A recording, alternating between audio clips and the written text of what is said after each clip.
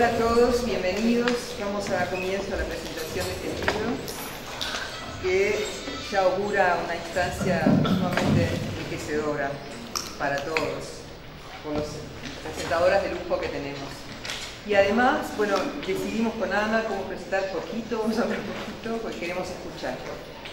Eh, nada más que la historia de cómo surge, eh, surge a partir de una iniciativa que tenemos integrantes de un colectivo que, em, llamado Clínica Psicoanalítica y Fronteras Disciplinares, que se junta con Ana María Fernández y su equipo de investigación de la Facultad de Humanidades, porque decidimos pensar cosas en común, eh, pensar aquello que tiene que ver con el malestar de nuestro tiempo y de nuestra época, y eh, abordarlo de tal manera que tenga que ver con una epistemología de fronteras.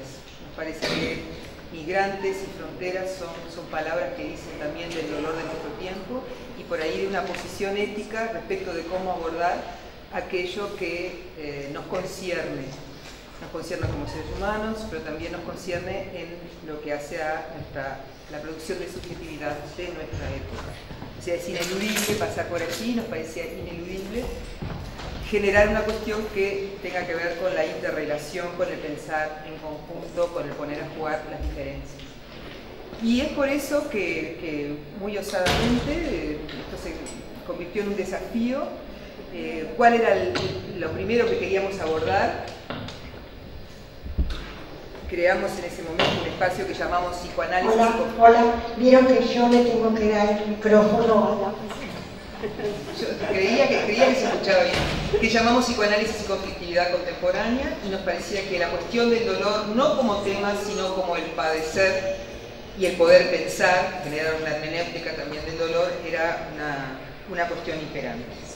Entonces, eh, así surgió, eh, fue muy bueno, fue un trabajo enorme, vieron qué cantidad de autores somos, eh, se puso a trabajar rápidamente esta cuestión, la gente dijo, sí, sí, sí, tengo mucho que decir. Eh, obviamente, casi podría decir que podría ser un tomo 1 y un tomo 2 porque hay muchas otras eh, cuestiones y aristas que no están abordadas, pero sin duda para nosotros significó un puntapié inicial, así lo sentimos. Entonces yo, ya terminando, mm, recordaba las palabras, algunas de las palabras que surgieron en la convocatoria, y algunas se producían a partir de eh, una, frase dicha por Dante Alighieri, en a qué época me voy y a quién me voy, que planteaba algo así como que quien sabe del dolor todo lo sabe.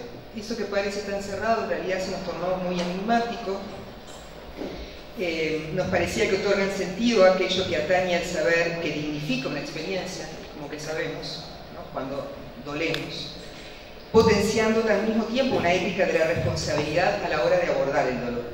Pero al mismo tiempo, estas palabras establecen las coordenadas para el despliegue de un conocimiento en construcción, no acabado sino en movimiento, que se construye únicamente en una convocatoria abierta a la pluralidad de saberes. Eso fue lo que quisimos hacer. Entonces, para este tiempo yo agregué estas otras palabras. Este libro se gesta en y por la multiplicidad. La ficción propietaria, que se extiende hoy en día al inmenso dominio de la cultura, de las ideas, de la tecnología, de lo viviente, no reconoce valores como los de la cooperación, sin la cual nada sería posible. Pero la creación de este libro es una línea de fuga, pues precisamente aborda lo inapropiable, ya que el tema que lo provoca, el dolor, resulta de ineludible anclaje subjetivante, por eso nos interesa, y opone resistencia a tanto objetivismo y cosificación imperante en nuestro tiempo. Eso significa que concierne aquello que habitamos en común. Común refiere a la acción política de nuestro tiempo. Haber propiciado esa experiencia es desde ya una alegría. Por ahí nuestra posición. Contamos además con, les decía, presentadoras valiosísimas. Eh, en, el orden que van a, presentar, Raquel Capurro, psicoanalista, miembro del COL Lacanian de Psicanalís, autora de referencia internacional, eh, Alma Bolón, doctora en Ciencias del Lenguaje, docente e investigadora de la Facultad de Humanidades y Ciencias de la Educación y autora de numerosas publicaciones a nivel nacional e internacional, y Ana María Araujo, de nuestra casa, doctora en Sociología, profesora titular, coordinadora del programa Fundamentos Interdisciplinarios de la Psicología en la Hipermodernidad y también autora de numerosas publicaciones a nivel nacional e internacional. Sin duda va a ser un, aporte y, bueno, vuelvo a repetir, la ley. Muchas gracias. Buenas noches, este, bueno, agradecerles a todos que estén aquí hoy y bueno, obviamente como ya dijo Ana Uní, es un lujo contar con las presentadoras.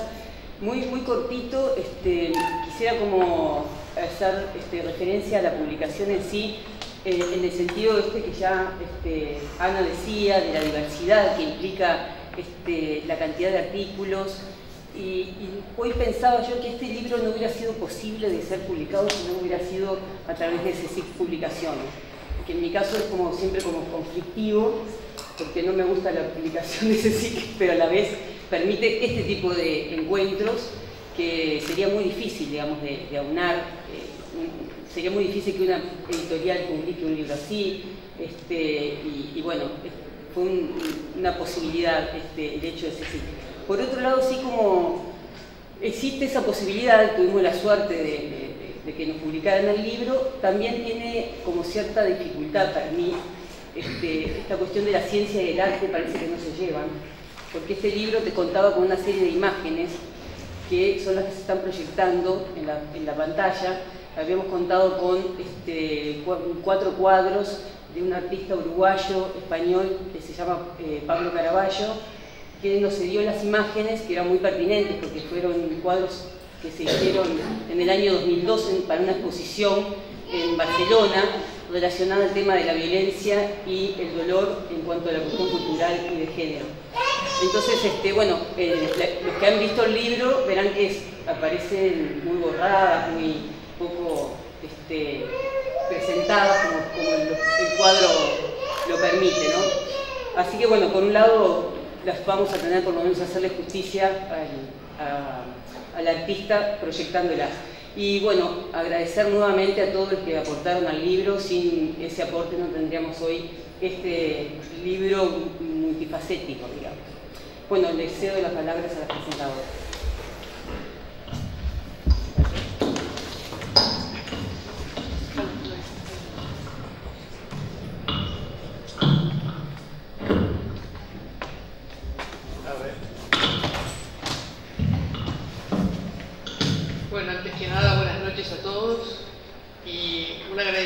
por esta invitación que con mucho gusto acepté.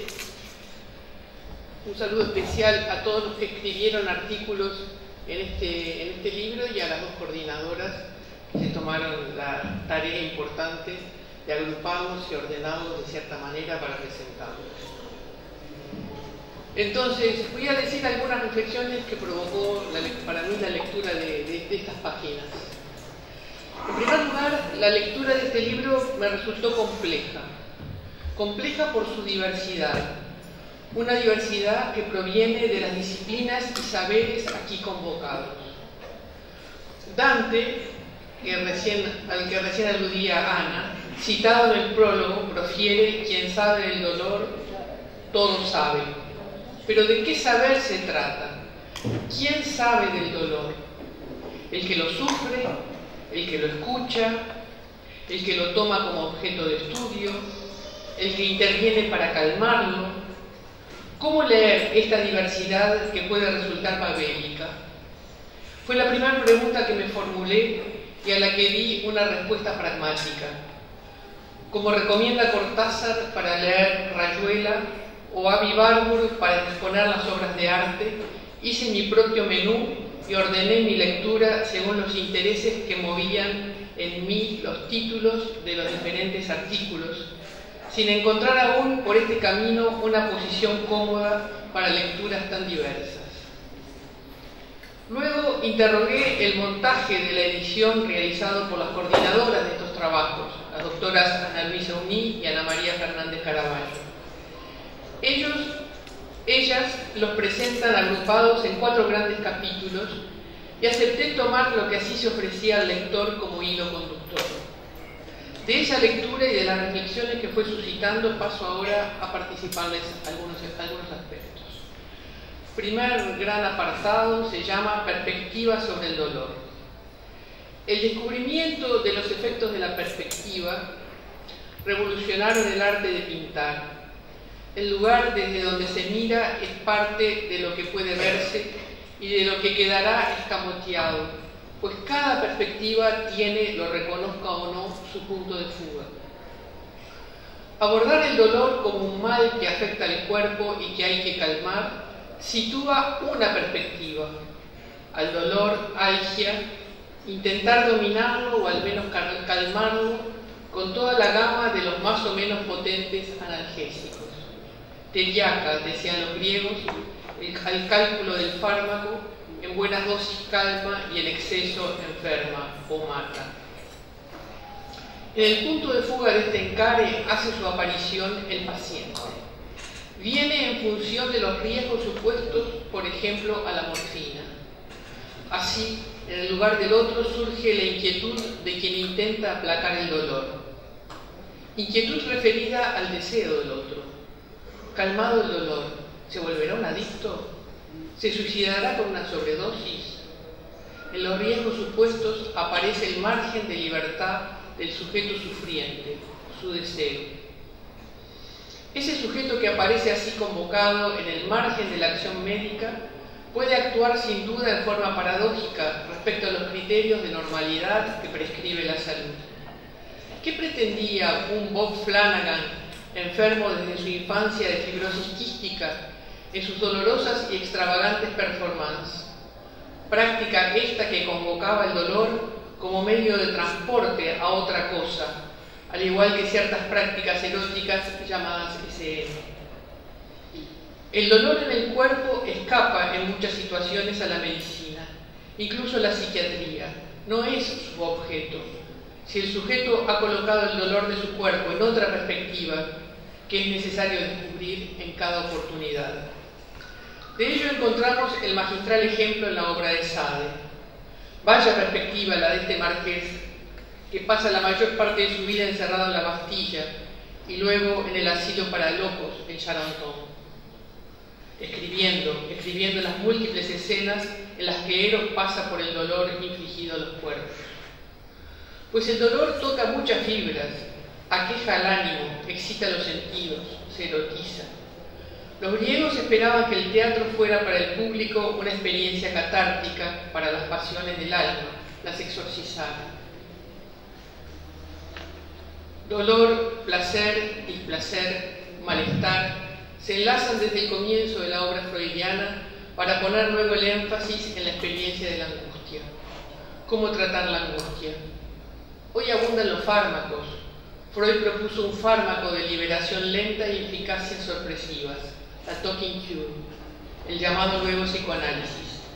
Con esta referencia paso al segundo capítulo o la segunda sección del libro, escenarios del dolor. Freud localizó inicialmente el inconsciente en una Andere Schauplatz, en otro escenario, oponiéndolo así al escenario de la conciencia. Sin duda el dolor no se ubica en el inconsciente, aunque tenga allí opacas ramificaciones. Cuando el dolor invade la conciencia, cuando nos duele una parte del cuerpo, un simple dolor de muelas, ejemplificará Wittgenstein, toda nuestra atención se concentra allí. Y Freud señala cómo de este modo esa zona del cuerpo se protege con una sobrecarga de libido. Rodeamos de cuidado el dedo que apretamos en la puerta. El dolor opera como advertencia. Si la vida cotidiana está poblada de pequeños accidentes y dolores, la vida social es escenario de dolores que arrasan la vida de los pueblos y de sus habitantes. Ya hemos dejado atrás hace rato al estado de bienestar. Las contradicciones sociales, las desigualdades económicas generan crecientes conflictos. Hoy lo vivimos no solo en la dimensión nacional, sino que no quedamos ajenos al azote de la guerra y violencia engendrado desde remoto pasado y hasta el día de hoy por las prácticas de poder dejando como resto a millones de inmigrantes que deambulan en el frío y el hambre, el desamparo, situación internacional actual de dolor que la institucionalidad política no logra encaminar ni resolver. En las guerras que hoy se propagan se revela el mapa del dolor, los efectos de esas inmensas desigualdades económicas, religiosas y culturales construidas ayer. Rebelión de hoy de los expoliados ayer, que nos cuesta a veces entender.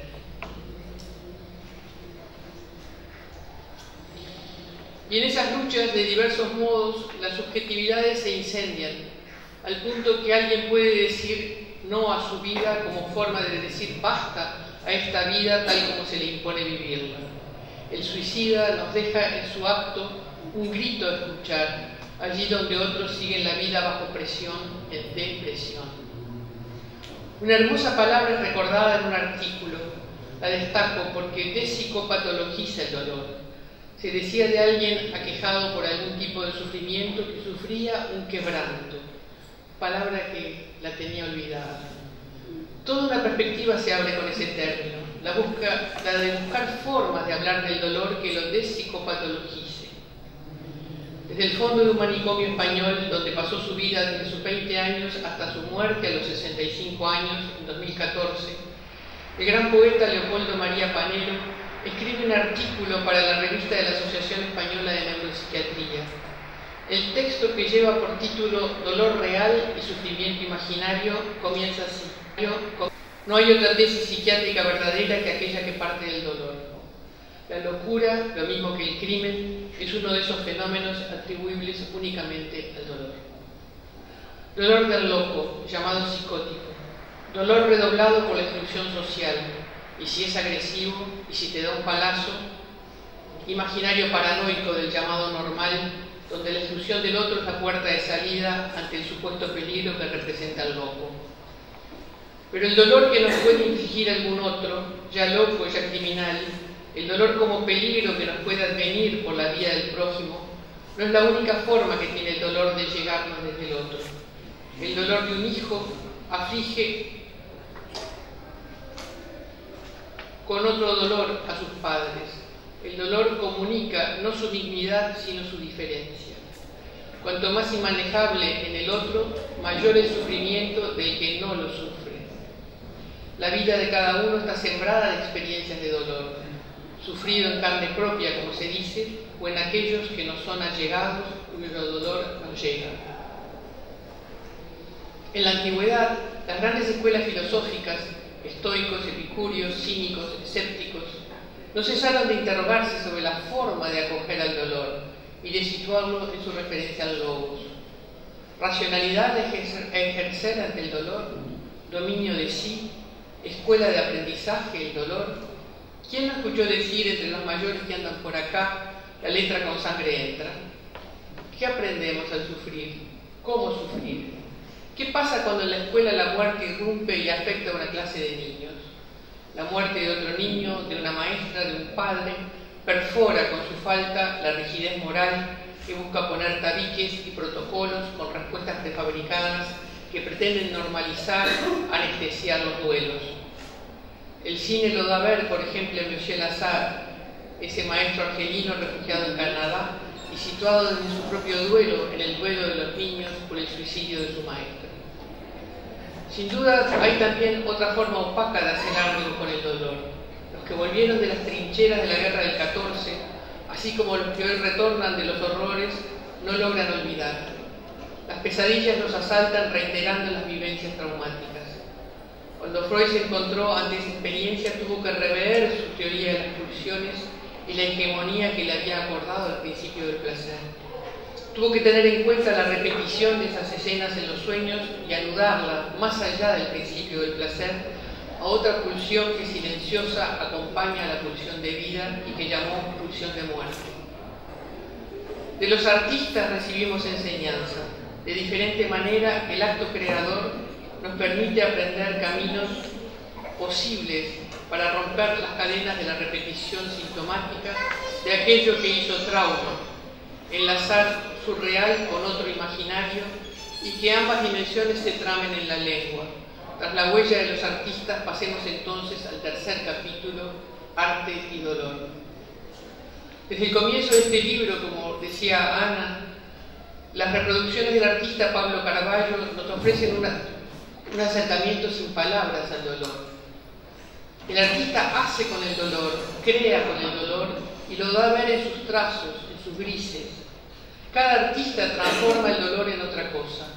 Así Marguerite Dugas en la larga espera de Antelmo, su marido prisionero de los nazis. Así ella misma transformando el dolor con su escritura en las secuencias de su escritura. Así también la escritura del horror se vuelve parodia en el trazo de Osvaldo Lamborghini. Así subjetivamente se produce el pasaje de un analizante, de una versión trágica a otra cómica, a propósito de su propia historia.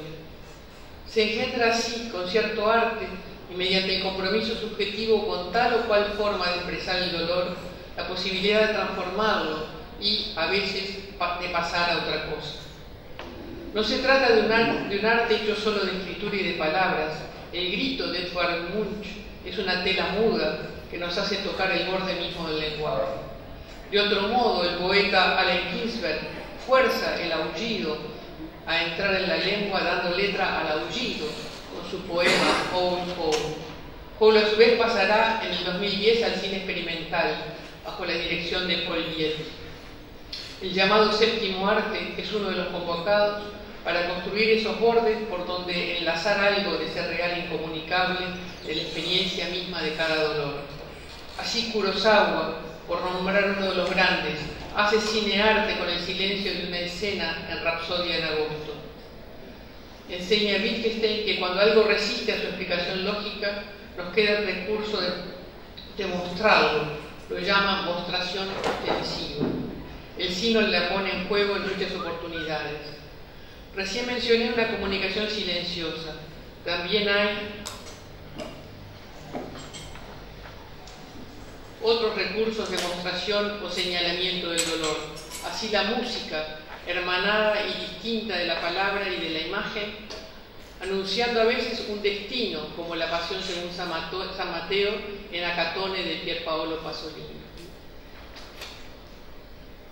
Hoy en día el artista a veces compone escenas, se acerca al arte dramático, al teatro o se distancia, según su estilo, compromete en forma particular su subjetividad. Así en las performances, sin que esté siempre claros en ellas los límites entre presentación y representación del dolor. Y paso entonces por último al, al último sector del libro, saberes y políticas del dolor. Las palabras y o la mostración del sufriente son pues la expresión de la subjetividad de alguien comprometido, cuerpo y o espíritu, en tal o cual experiencia de dolor. Pero hay miradas sobre el dolor que buscan su objetivación en parámetros y medidas, estudio de reacciones que permitan actuar sobre él, ya para apaciguarlo, ya para provocarlo, ya para dominarlo. Campo social del dolor, territorio de la biopolítica, que toma forma en el sistema jurídico, en la administración de la salud, en las políticas educativas, en las deportivas, que puede poner en situación difícil la subjetividad del sufriente. Se dice que el camino del infierno está empedrado de buenas intenciones. Eso ocurre cuando algo del furor sanandi enseguece la toma de decisiones, desconociendo la libertad del allí implicado, que podrá poner en riesgo su vida con un no rotundo, por ejemplo, de una huelga de hambre. Ahora bien, como se hace patente en este libro, la palabra dolor puede entrar en múltiples juegos de lenguaje. Su polisemia abre campos que son explorados por distintos saberes y ponen en juego distintos poderes. De ello, este libro, este libro despliega su abanico. Si los saberes que buscan saber del dolor. Son múltiples por su modo de cercarlo y recortarlo, los poderes y micropoderes allí anudados son también de distinto orden y comprometen la subjetividad que puede escucharse también en su polisemia. Por otro lado, la palabra saber se potencia en opacidad que se hace más intensa cuando el doliente no puede hablar, por ejemplo, solo gritar, como un bebé, o cuando su decir se revela tan extraño que lo dejamos de atender, el dolor, el sufrimiento del ojo. En realidad, y muchos trabajos lo mencionan, solo hay una forma de orientarse con el dolor, y es cuando algo de esa experiencia pasa al decir o a su mostración ostensiva. ¿Qué le duele? preguntaba el médico. ¿Dónde? ¿Cómo es ese dolor? El paciente se veía, se ve conminado a hacer pasar algo de su experiencia a la palabra, a su gesto. Hacer entrar su dolor en un juego de lenguaje.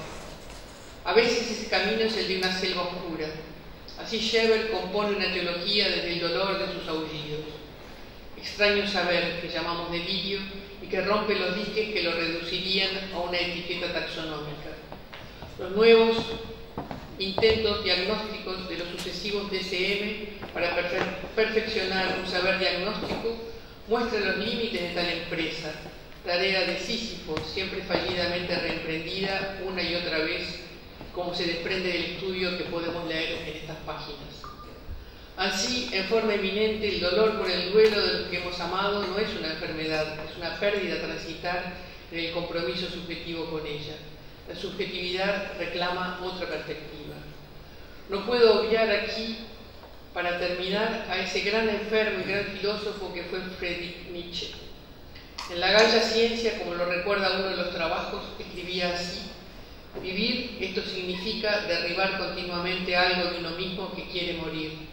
Esto significa ser cruel e implacable contra todo lo que se vuelve débil y viejo dentro de nosotros. A veces el dolor se cura con más dolor.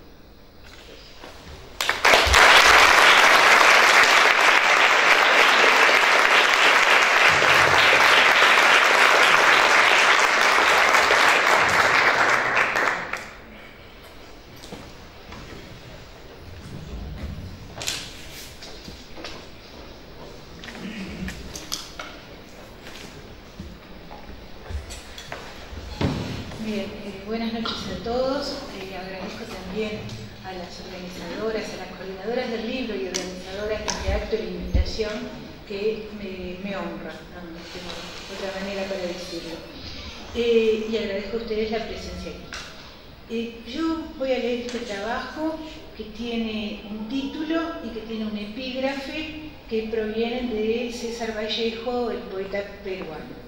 El título es Voy a hablar de la esperanza y el epígrafe es Jamás, hombres humanos, hubo tanto dolor en el pecho, en la solapa, en la cartera, en el vaso, en la carnicería, en la aritmética. Hasta aquí César Vallejo y ahora empiezo yo.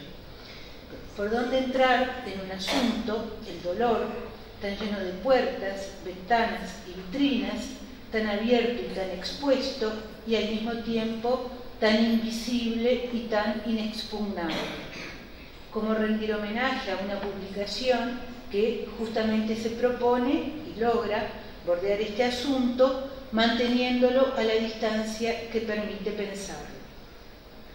La opción de referir individualmente cada uno de los trabajos que componen esta obra, además de ofrecer dificultades para, de ofrecerme a mí dificultades para su realización, me pareció que podía presentarme el riesgo de que yo pasara por alto lo que constituye en obra, más allá de las variaciones disciplinares, de las perspectivas y de los estilos de enfoque, a este conjunto de trabajos logradamente amplio y variado.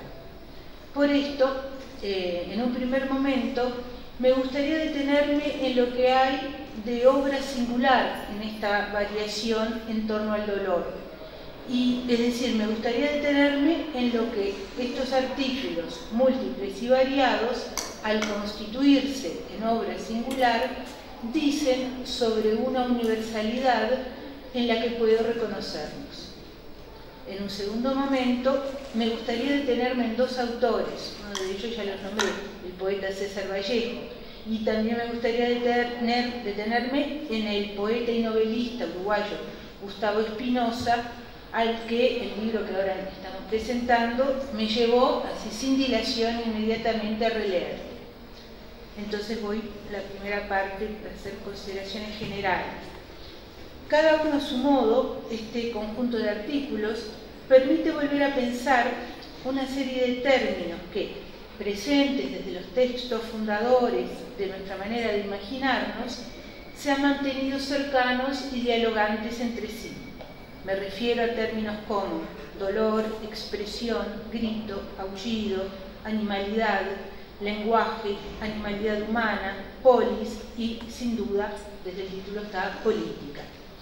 Todos estos términos, remitiéndonos a la, a la política aristotélica, nos recuerdan que el dolor es una experiencia sensible que nos reúne con los otros animales al tiempo que al compartirla, la experiencia del dolor nos segrega de estos por nuestro destino de hombres de lenguaje, de animales atrapados por el lenguaje, por nuestra vocación para no solo expresar el dolor, sino para pensarlo, simbolizarlo.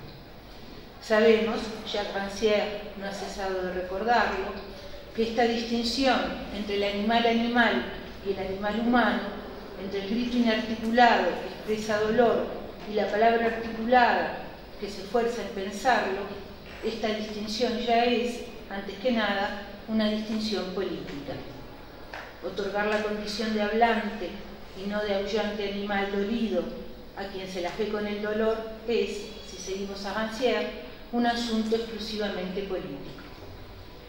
Y esta distinción es asunto arduo si atendemos, como lo hacen los trabajos de esta obra, la presencia del silencio y del grito, la imposibilidad de decir el dolor y la imposibilidad de no expelerlo de alguna manera, tal como el grito silencioso, así se lo llama en, este, esta obra, de Munch lo sugiere y tal como varios autores de esta compilación lo destacan de manera semejante, y me adelanto en parte al comentario que luego haré de la narración del uruguayo Gustavo Espinosa, en esta novela de Espinosa, de un personaje en, aguda crisis de dolor, se dice que, cito, gritaba con la boca cerrada.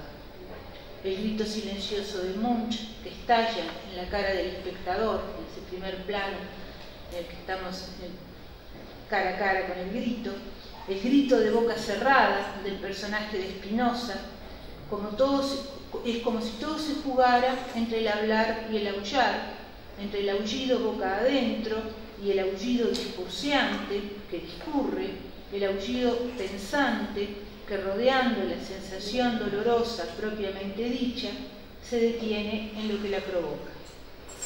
Porque nítidamente, una vez que el grito cae en, oídas, en oídos que oyen en él una palabra articulada, predomina el discurrir entre los actos que, ejecutados sobre un cuerpo, solo podemos imaginar dolorosos.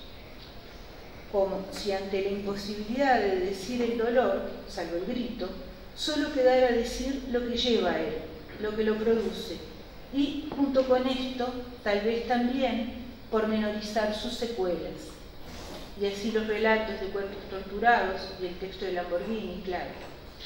Claro, del dolor solo fuera decible su antes y su después, sin técnica que remedie esa dificultad para decirse en presente. Entre el relato de las causas y de las secuelas, el dolor permanece a salvo, intocado, sin dispositivo técnico que hable en lugar de quien padece. Y sin embargo, o tal vez por eso, o tal vez por eso mismo, el dolor solo cuenta con la palabra para ser dicho, es decir, que solo cuenta con lo que no puede decirlo cuando se aboca, sino, sino es bajo la forma del como sí, de la ficción, de la metáfora, de la aproximación. Así, por ejemplo, la ficción que intenta acercar, metaforizar, cierta cantidad de dolor experimentado a un grado de una escala decimal, como aparece aquí, o a un dibujo de la mueca de un rostro. Dice Gustavo Espinosa a propósito de su personaje femenino atrapado por el dolor oncológico. Cito, largó el alarido, sonó como una ola sucia. La ficción de la metáfora queda como única verdad del dolor hecho grito el alarido como una ola sucia, como si el dolor, en su cerrada negativa a dejarse decir, salvo en el grito, en la metonímica pormenorización de sus causas y de sus secuelas y en el como sí de la metaforización, estuviera ahí para recordar que el lenguaje solo puede errarle a la cosa cuando de nombrar se trata, porque, por lo que su régimen general es el de la aproximación metafórica, el régimen general de la ficción, que reclama, que reclama creencia en su verdad ficcional.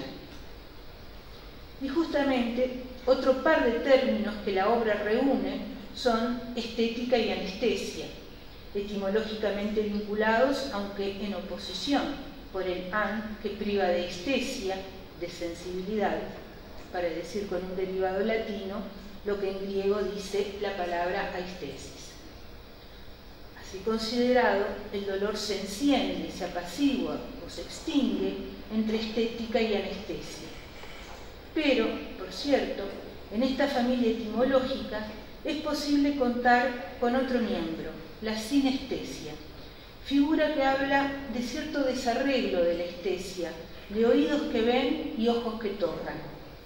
Y así la sinestesia también ofrece una vía que, sin entrar, bordea el dolor, como lo pone de manifiesto en esta obra que nos convoca, la evocación de las dos ancianas de Rapsodia en agosto, la película de Kurosawa, de las que se dice que, cito, la mirada de cada una escucha el llanto mudo de la otra. Pero estética, además de cargar con la manera griega de decir sensibilidad, también se arrima a belleza, hasta confundirse con ella, hasta la posibilidad de recíproca sustitución. Por este camino, el dolor, esa estesia que pasa por el grito o que el pensamiento bordea con metáforas, metonimias y sinestesias, se encuentra con la belleza. Paso ahora a la segunda parte que había anunciado. Todo termina aquí, que recién publicada novela de Gustavo Espinosa, ¿no? salió hace dos, dos o tres meses, cuatro meses, no sé, en 2016. Eh, publicada novela de Gustavo Espinosa, es una historia en que la belleza y el dolor aparecen juntos, anclados en un fondo hermético. Asegua trip, ¿no? trip como viaje en inglés, trip capaz que también como tripa, Asegua trip es uno de los capítulos más logrados de esta novela. Ahí el narrador cuenta un viaje que realiza en auto, desde 33 a Asegua, acompañando a un amigo y a su esposa, mujer extremadamente hermosa y moribunda de cáncer, sujeta a crisis hiperdolorosas que la confinan a, cito, estar en el dolor, como dice el narrador. En este viaje a Ceguá, a la frontera, en busca de un doctor curandero que ayude a la protagonista, el creciente y extemporáneo calor, están en mayo, entonces no se justifica tanto calor, hace del recorrido una antesala de lo infernal que ya es infernal, un trayecto hacia el corazón de las tinieblas, como afirma el propio narrador. Y este trayecto se desarrolla bajo tres signos fundamentales, a saber, la belleza y el dolor de la moribunda y la música. Los blues que no dejan de sonar en la radio del viejo auto Falcon que conduce a los tres personajes a Aseguá, y el blues que, paralelamente, el marido va componiendo para su muriente mujer. A lo largo de todo el viaje, esa canicular antesala del infierno, en esa ¿no? Eh, antesala del infierno habrá belleza, dolor y blues.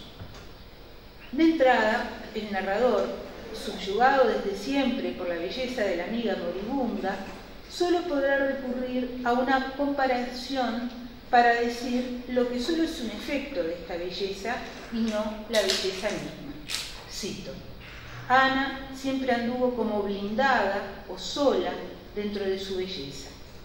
Líneas después, líneas después, ese estado de blindaje, de intangibilidad en que la belleza coloca el personaje, es acercado al dolor. Vuelvo a citar el narrador. Volví a pensar que no hay nada más excluyente que el dolor físico. Su falta de sentido clausura al que lo padece en la mismidad más cerrada. En eso se parece a la belleza radical. El dolor y la belleza reunidos acercan al personaje, a ojos del narrador, a, cito, una piedra rara o a un hermoso animal sin lenguaje a ojos de ese narrador, el personaje, la hermosa moribunda, queda estacionado en un allende que es el dolor, presa de, el tornado de dolor que convierte a esta mujer en una especie de, cito, cadáver furioso. Metáfora, metonimia, sinestesia y oxímoron. De aproximación en aproximación, el intransferible dolor ajeno contagia, articulándose en palabras que reconfiguran el mundo, que producen un nuevo reparto de lo sensible para volver a ansiar. Este Aceguatrip de Gustavo Espinosa dramatiza las fuerzas encerradas en el dolor y en la belleza, apremiantes convites a decir, siempre desairados. Entre el convite y la frustración queda el viaje con su blues, el aceguatrip, queda la obra, el capítulo, la literatura, el poema, la estesia que nunca se había ido. Para ir terminando. Varios son, o varias son, en esta aceguatrip de Gustavo Espinosa, las reminiscencias de César Vallejo, tal vez el principal poeta en lengua española del siglo XX, extraordinario autor del dolor. Y con esto estoy queriendo decir que Vallejo es autor del dolor que los lectores experimentamos al leerlo, porque Vallejo hace doler, porque la belleza de sus palabras es propiamente doliente. Expresiones de Gustavo Espinosa como cadáver furioso o húmedo izquierdo, sin ser textualmente vallejianas, nos remiten a este poeta que hace del dolor devenido palabra su prescripta analgesia, su propia anestesia. En Los Nueve Monstruos, largo poema invadido por el dolor, disciplinadamente doloroso, Vallejo comienza refiriéndose a la propagación creciente del dolor, a un crecimiento cuyo absurdo solo puede ser dicho con el absurdo. Cito, y, desgraciadamente, el dolor crece en el mundo a cada rato. Crece a 30 minutos por segundo, paso a paso. Acto seguido, Vallejo caracteriza la naturaleza del dolor. Cito. Y la naturaleza del dolor es el dolor dos veces, y la condición del martirio carnívora voraz es el dolor dos veces, y la función de la hierba purísima el dolor dos veces, y el bien de ser dolernos doblemente. La naturaleza del dolor es el dolor dos veces, dice misteriosamente Vallejo en el inicio de Los Nueve Monstruos, mientras que en otro poema en prosa, recortando el, dolor de su antes o, o de su después, negándose a nombrar etiologías y secuelas, apartándose de la metonimia, el poeta concluye, cito de nuevo, yo creía hasta ahora que todas las cosas del universo eran, inevitablemente, padres o hijos. Pero he aquí que mi dolor de hoy no es padre ni es hijo. Le falta espalda para anochecer, tanto como le sobra pecho para amanecer. Y si lo pusiesen en una estancia oscura, no daría luz. Y si lo pusiesen en una estancia luminosa, no echaría sombra. Hoy sufro hoy sufro suceda lo que suceda, hoy sufro solamente. Fin de la cita. Ni padre, ni hijo, ni espalda, ni pecho, ni, anochecer, ni amanecer, ni oscuridad, ni luz, sin genealogía, sin etiología, sin cronología, sin corporeidad. El dolor vallejiano es, solo es, sin metonimia, ni metáfora, ni sinestesia que venga a intentar limitarlo a, intentar ponerle término a su ser, que solo es a La gramática afirma que doler es un verbo defectivo, es decir, un verbo que no suele funcionar en todas las personas. Aunque recién oí a Ana Buní diciendo dolemos, ¿no? Dolemos, sí, sí. Bueno, la verdad que este, la, la gramática dice es un verbo defectivo que llamativamente doler no funciona con sujetos ni de la primera ni de la segunda persona. Rara vez se dirá yo duelo o vos, dolé, o vos dolés, lo que en cierta forma explica el paso en César Vallejo de mi dolor a sufro. Si sufrir o lastimar admiten sin problema alguno la primera y la segunda persona, no yo sufro, tú sufres, o vos sufrís, o yo lastimo, o vos lastimás, o tú lastimas, ¿no?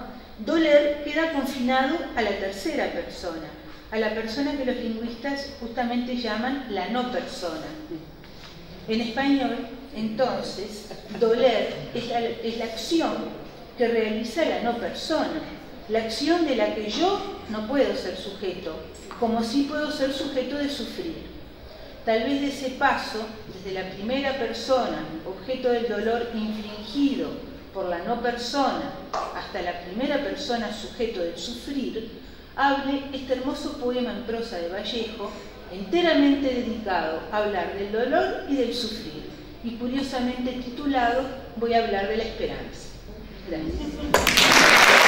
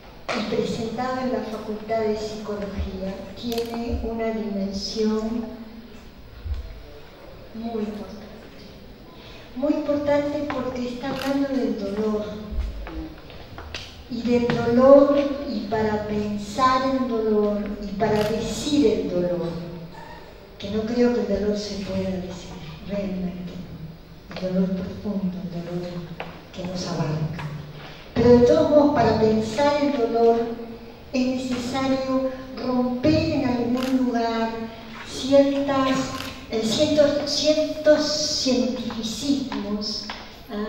romper ciertas soberbias cuantitativas y numéricas y adentrarse en, en el ser humano mismo.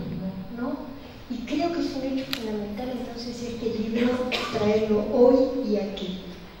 Me parece importante además decirlo desde el psicoanálisis, desde la filosofía, desde la antropología, desde el arte fundamentalmente. Un poquito de las ciencias sociales. Y fundamentalmente sí creo que desde un lugar de un pensamiento crítico y de un pensamiento crítico que quiere decir crisis también, ¿no? Eh, etimológicamente, eh, el dolor tiene que pensarse desde lo crítico y desde la crisis. Y este libro lo hace. Gabriela Bruno me preguntaba, ¿qué te pareció? Nada. La nada sartoriana. Nada. El ser y la nada. Y dice, no, es imposible decir qué me pareció. Me pareció primero un, desafío frente a toda una postura eh, de esta facultad que cada vez está este, teniendo más importancia y, y, y, en principio entonces por el solo hecho ese me parece importante. Pero además es un libro no interdisciplinario, no, imposible hablar de lo interdisciplinario en capítulos, en, ¿verdad? Pero sí es un libro que apunta a la complejidad tú decías, Raquel, apunta a la complejidad de distintos saberes, de distintas disciplinas, de distintos conocimientos. Y me parece, me parece que también es mucho importante. Es un, bueno, es un intento de pensar algo desde la multiplicidad y desde, yo diría, epistemologías multireferenciales.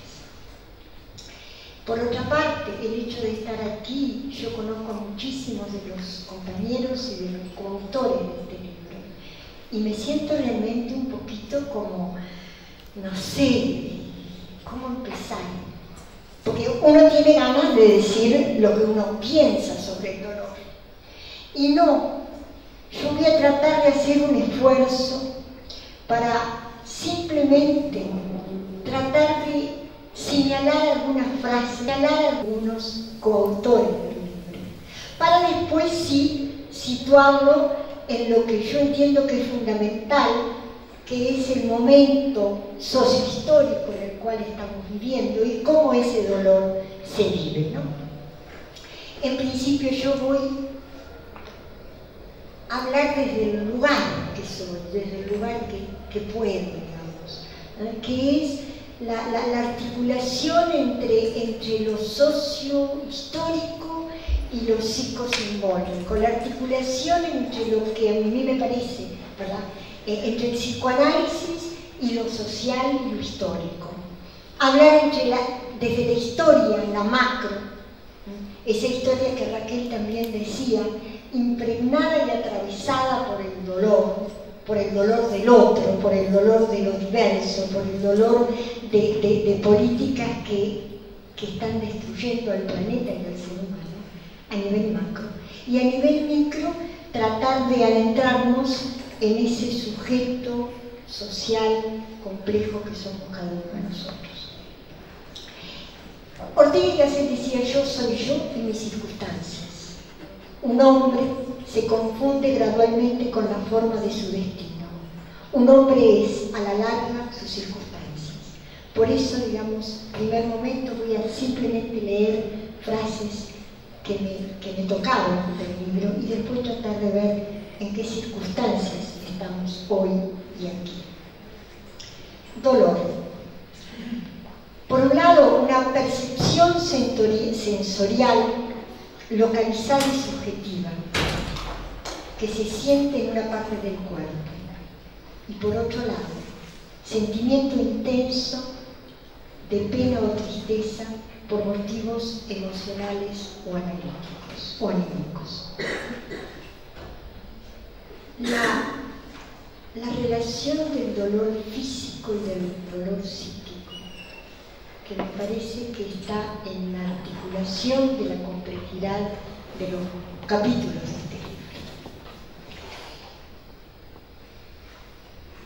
El dolor y la existencia. No puedo dejar de pensar, parirás con dolor. Parirás con dolor, Génesis 3.16. Parirás con dolor desde el comienzo. Parece que la la civilización judeocristiana está marcando nuestra existencia en este mundo con el dolor. Pilar Bachi habla del dolor y de la relación ineludible entre la existencia humana. ¿no? El verdadero dolor es sentir el pensamiento desplazarse en uno mismo, dice Antonina To, lo cita Laura Falcón. Laura Falcón nos dice también de qué modo pensar el dolor en estos tiempos. Y esto yo lo voy a traer en el segundo momento. ¿De qué modo pensar el dolor en estos tiempos? El cuerpo, nos dice Banchi, es un producto cultural y cada sociedad le impone a sí misma su significación. Y me pregunto, ¿el dolor también será un producto cultural? No sé por qué hice asociación con los piercings, con los tatuajes, con el dolor de esos adolescentes que están tatuados y lo que implica el dolor en su cuerpo. Es un, un signo cultural, me parece importante. Es el dolor cultural. El dolor se encarna en la polis, yo diría más que en la política. El dolor y la polis, entonces y la política no desde, evidentemente desde la, desde la, desde la política partidaria, sino del qué hacer en la polis. El dolor se vacía de sentido al tiempo que la muerte se deshumaniza, lo dice Ana Luis y forma parte, como un hecho cultural, del proceso de sujetación. La sociedad anestesiada, nos dice Foucault. El dolor no tiene palabras. El dolor habla sin palabras. Y pienso en la historia de una muy amiga mía cuya hija murió. Es impensable, es imposible poner en palabras ese dolor.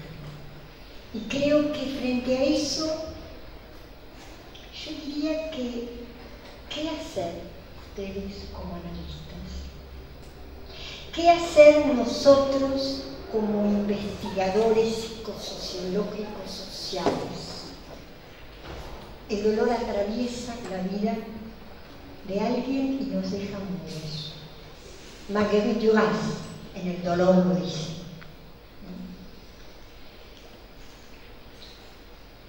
Las desigualdades sociales, nos dice Beatriz Fernández Castrillo, las desigualdades sociales implican el sufrimiento contemporáneo mayor, la inclusión y la exclusión social, el dolor del desempleo, el dolor del excluido, el dolor del torturado durante la dictadura, el dolor de la madre de los desaparecidos. La era del vacío, el imperio de lo efímero, el ocaso del deber, los tiempos hipermodernos de Lipovetsky. Me hacen pensar todos estos títulos que para mí son muy fuertes del momento de este dolor que estamos viviendo. Nelson de León dice, se trata de incluir lo histórico-social en las intervenciones, encuentros, tanto en lo que se dice como en lo que se hace. Persia dice, ¿cómo distinguir el dolor que es inevitable del sufrimiento que es innecesario? Nazi el inconsciente es un conservador del dolor, no lo olvida. El duelo, el abandono, la humillación y su mutilación son las cuatro circunstancias que desencadenan el dolor psíquico o el dolor del amor. Ginette Barrantes nos habla de Duras sin duda, Marguerite Duras es una de mis escritoras favoritas. Y dice Marguerite Duras, el dolor es una de las cosas más importantes de mi vida. El dolor es tan grande, me asfixia, no tiene aire, el dolor necesita espacio. Así entonces, nuestra vida recorre más allá del placer dice Ana una estética del dolor en la que se engendra su existencia. El dolor habita lo humano. El dolor es un hecho situacional. Y Ana termina su, Ana termina su artículo con la frase de una entrevistante que dice, yo tengo un dolor en el corazón.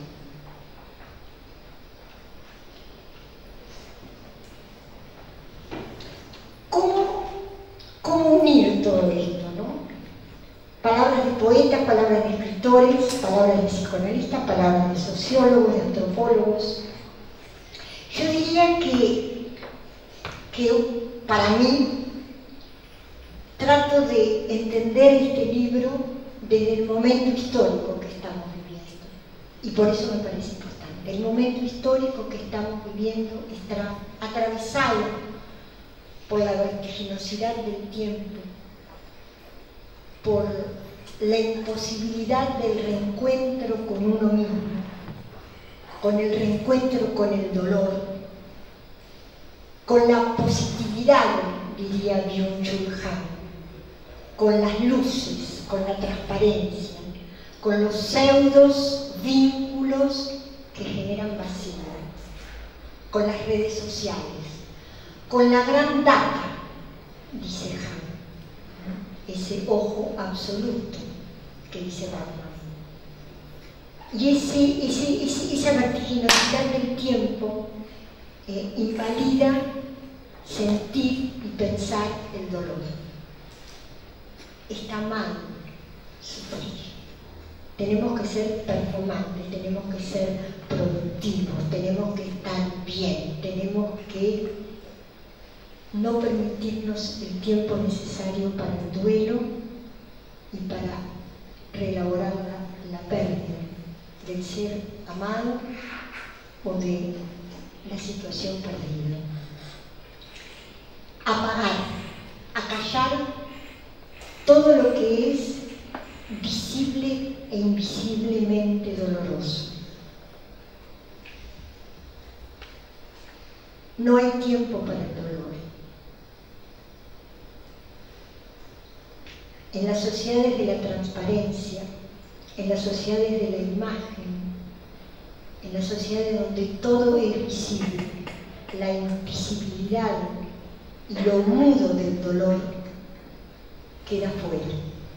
Y en la medida que quede afuera, son sociedades que están, con, están atacando lo que es el ser humano y robotizándonos en una sociedad del enjambre, en una sociedad hipermoderna, en una sociedad que no da cuenta de lo humano, de lo demasiado humano, que es el dolor. Gracias.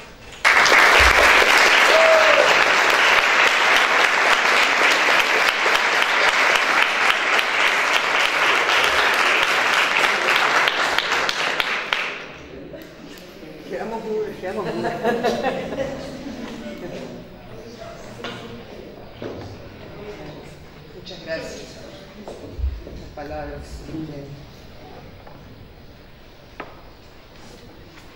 Bueno, hablando de gracias, me falta agradecer a todos los que participaron, que fueron muchísimos. Fuimos muchísimos, voy a conjugar raro. No voy a agradecer a todos, voy a seguir conjugando raro. Este, eh, ¿Qué tal intervenimos, dialogamos? ¿Qué les parece? Voy a decir algo un poquito más. Este, gracias a las tres presentaciones que resuenan todavía y en un momento una de ustedes, Alma, dijo una frase, nombraste una frase respecto de las dos ancianas que, es, este, que fue dicha por una compañera y amiga, colega nuestra que escribió este libro y que el libro tiene que ver también con el atravesamiento de ese dolor, que es Alba Fernández, con un trabajo muy fuerte ahí. Así que este, fue, eh, fue toda una cuestión importante para nosotros, producir y hacer cosas. Ay, sí, Ana, yo, perdón, pero yo quería decir algo. Yo quería decir algo con respecto a, a que murió, que es una compañera, que fue una compañera muy querida, y que me parece que en algún lugar el, el, el trabajo de ella sobre Nietzsche, además, este, yo no, quiero decirlo, no, no pude decir nada. Ahí sí Y les agradezco a Ana, a las dos Anas, de haber traído este texto de Alba Fernández, que yo sé que muchos de los estudiantes que están acá la conocieron, la valoraron y la quisieron. Entonces, es un, es un homenaje también a través de la escritura. Yo me acuerdo que, que perdón, yo me acuerdo que el primer libro hace muchísimos años, yo era eh, en el prefacio alguien dijo, la vida supera siempre la escritura, pero la escritura guarda en ella momentos irreparables. Y la escritura de Alba guarda en ella momentos irreparables que vivimos con Alba. Entonces, no sé, quería decir esto.